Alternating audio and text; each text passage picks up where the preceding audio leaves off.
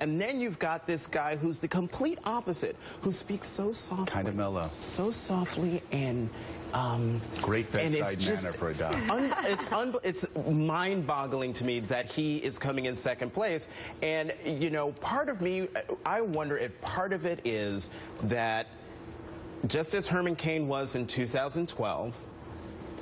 Ben Carson is sort of the Republican answer to President Obama. We have our we have our brilliant African American candidate, and he's the one we want to support. But why I don't know.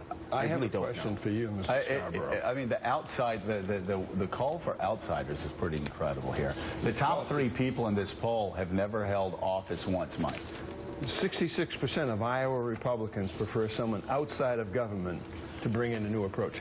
66%. That- that's amazing. So my dentist has a shot at becoming president. in Iowa. But let, let me Only 23% want someone with government experience in this poll in Iowa.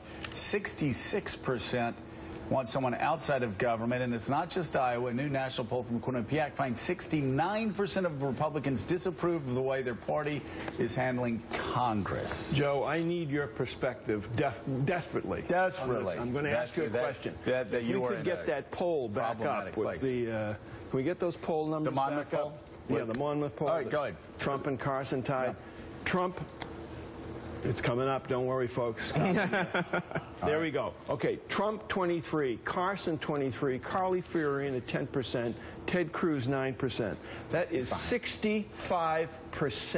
Scott Walker my- has collapsed. My question to you is 65%, and arguably you could say those four candidates don't represent the moderate, middle of the road, mainstream keep those num- American political party. keep those thought. numbers up. I, I- 65%. I, I What wouldn't- I, going on with the Republican Party? That. I wouldn't say that. Keep those numbers up. Let's talk about Donald Trump first. Donald Trump actually hasn't shied away from single-payer uh, health care. He said everybody in America, I said it during the campaign, needs to have health care.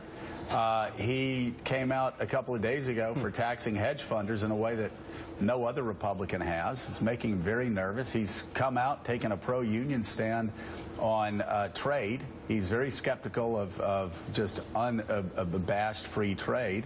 Uh, he's also tougher on immigration in a way that a lot of people in the AFL-CIO would, would agree with. Ben Carson, I, I don't know enough about Ben Carson's ideology, to be honest with you, because I don't think it's about ideology. I don't know that Carly's about ideology.